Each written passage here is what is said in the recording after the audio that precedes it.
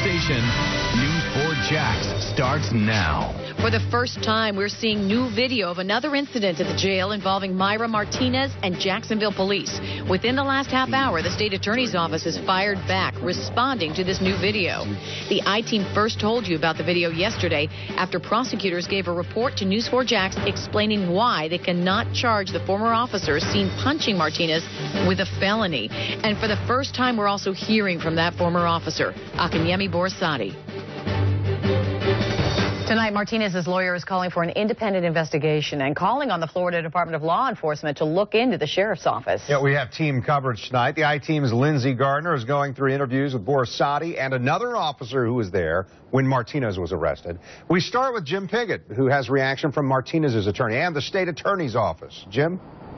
You know, this new video is still raising a lot of questions about the tactics and the techniques that are actually used at the jail. And in this video, we actually see six officers taking down Martinez. That happened after she was punched by Officer Borisade a little bit earlier in the day out in the Sally Port. Now, because of this and everything else that has happened, her attorney John Phillips is now calling for a special prosecutor in this case. He also wants to see the FDLE get involved and the Justice Department, and this is why. The new video starts with Mayra Martinez standing in the hallway. It's here where we're told the corrections officer asked her to remove her nose and belly button piercing. Her attorney says she can't remove that without a doctor. So she's told to go to the restroom and strip. She does, and then she throws her clothes on the floor, he says aggressively. At this point in the video, you can see a female correction officer grab Martinez by the hair and take her to the ground. Following that, five male officers enter the room while Martinez is still naked to break up the confrontation. Eventually, they're able to subdue her. This is the third video we've seen of Martinez. The first was released by the Jacksonville Sheriff's Office and shows Officer Borisade punching her several times at the jail's Sally Port. He was fired for this, but only charged with a misdemeanor. The second video was taken when this started at the strip club where Martinez was arrested. Dashcam video shows her on the ground fighting with and being hit by Borisade and a second officer. All of this is troubling for her attorney. We are asking for a special prosecutor to take over this case. Um, we are going to make that application to the governor today. Uh, we think that given the issues, given that there is an election, given that things are getting caught up in an election where you have public officials of this town going after each other instead of doing what they need to be doing, that it's time for a special prosecutor to come in. Uh, we are also asking for the, the FDLE and the Department of Justice to take a look.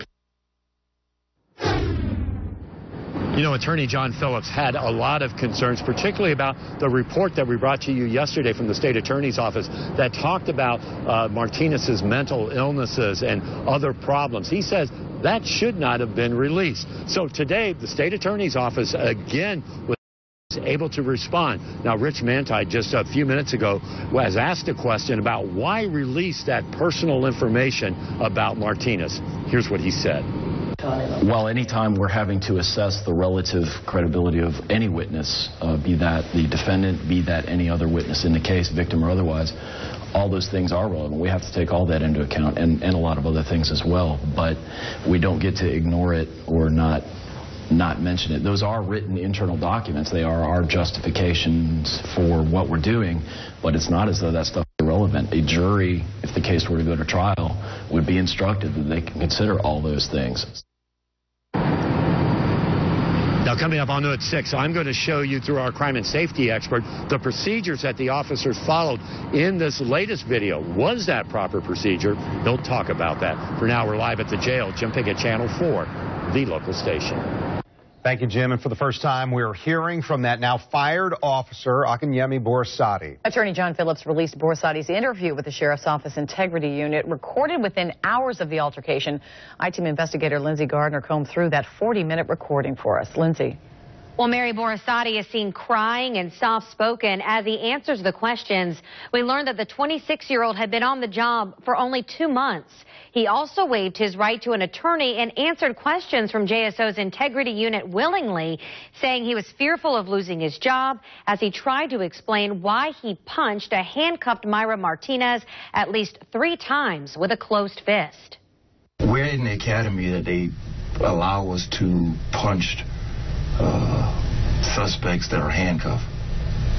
I mean, at that point, she's physically and actively, actively resisting. Okay, if you're saying she tried to kick you, which is what you said, right? She didn't try to, she did. Okay, so she kicks you. And your response is you ball a fist up and you punch her three times in the stomach.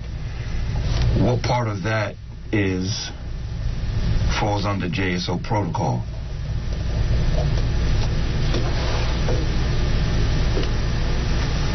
I mean, we have takedown procedures, right? If she's using her legs. Would you agree with that? When we deal with intoxicated, mentally ill people of that nature, they'll do things to kind of, you know, us off. But what we have to do is we have to remain above them. This afternoon, JSO Under Sheriff Pat Ivey released this statement saying the video released today is not yet public record through JSO because that investigation is ongoing. Ivey says no other officers involved had any criminal wrongdoing, but they are looking at administrative policies and procedures. Coming up all new at 6, I'm going to have much more from Borisade's interview, as well as the interview with his uh, co-officer there at the arrest site. And we'll tell you why, we'll let Borisade tell you in his own words, why he feels like he did the right thing in the heat of the moment because Mark Martinez was a woman.